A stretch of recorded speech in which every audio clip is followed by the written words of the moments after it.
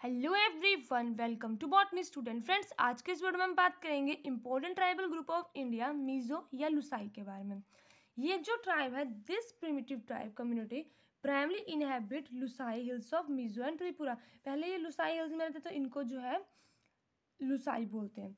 They belong to Kuki Chin group of Tripura speak language की बात करते तो ये तुसाई को ही स्पीक करते हैं speak Lushai a language belong to Sino Tibetan family जो भी हमारे पास ईस्टर्न हिमालय वाले रीजन में ट्राइब्स आती हैं तो ज़्यादातर वो साइनो तिब्बतन फैमिली को ही बिलोंग करती है, उनकी लैंग्वेज एटिमोलॉजी की बात करते हैं तो जो मीज़ो वर्ड है, उसका मी का मतलब है पर्सन या पीपल और जो का मतलब है, दो मतलब आते हैं जो के एक हाईलैंड और कूल तो ज़्यादातर जो हाईलैंड को यूज़ कीजिए कूल को नहीं तो क्या पर्सन जो कि हाईलैंड है।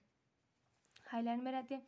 रिलीजन की बात करते हैं तो लुसाई, एनिमिज्म और Christianity all Mizo people claim their folk legend that Sinlung was the cradle of the Mizos ऐसा मानते हैं कि जो सिंगलोंग है, वो क्रैडल है मीजोज का।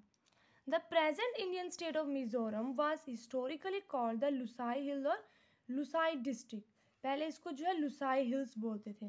The Lushai hill was defined as an excluded area during the British Raj and as a district of Assam in independent India. उस टाइम पे इसको जब हम इंडिपेंडेंट हुए थे इंडिपेंडेंट इंडिया का इंडिया की एक डिस्ट्रिक्ट होगी थी मिजोरम। लेकिन बाद में अब तो हमारे पास ये एक स्टेट है। ऑक्यूपेशन की बात करते हैं तो ये प्रैक्टिस करते हैं जूम कल्टिवेशन तो ये थी हमारी आज की video important tribal group of India Lushai के बारे में या मीजो के बारे में।